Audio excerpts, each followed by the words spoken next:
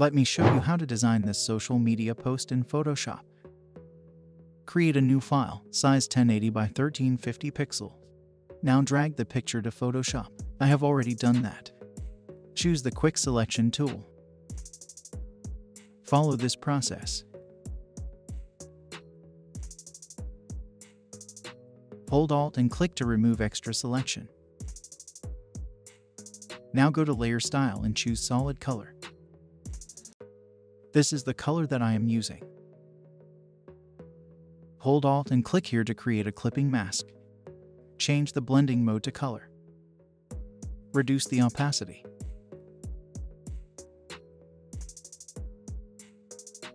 Let's do the same thing for the hat.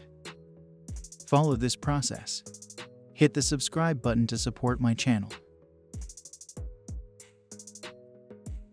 Now go to Layer Style and choose Solid Color. This is the color that I am using. Hold Alt and click here to create a clipping mask. Change the blending mode to color. Reduce the opacity. Now choose the brush tool. Press F5 to open the brush settings.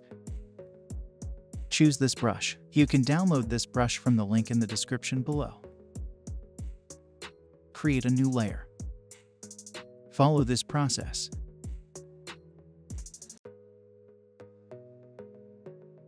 Create a new layer. Change the color to purple. Press F5 to open the brush settings. Change the angle to 180 degrees. Follow this process. Hold Shift and select these two layers. Drag these two layers to the back.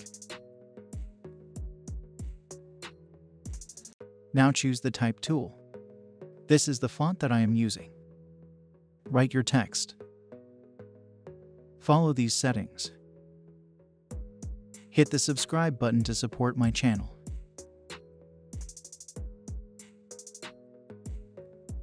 Follow these settings.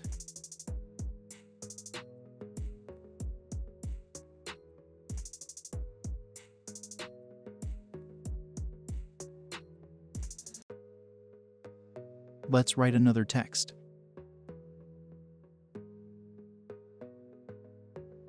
Follow this process.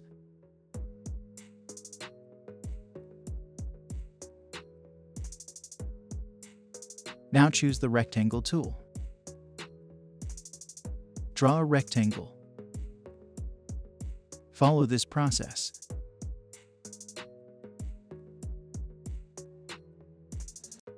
Hold Shift and select these two layers. Let's center them horizontally and vertically. Hold Shift and select these two layers. Hold Alt and drag to make a copy. Follow this process. Hit the subscribe button to support my channel. Hold Shift and select these two layers. Let's center them horizontally and vertically. Now choose the Ellipse tool. Draw a circle while holding the Shift button. Follow this process. Hold Alt and drag to make a copy. Change the color to purple. That's it. Hope you liked it. Subscribe to my YouTube channel for more tutorials. Also watch other tutorials in my channel. Leave your comment below.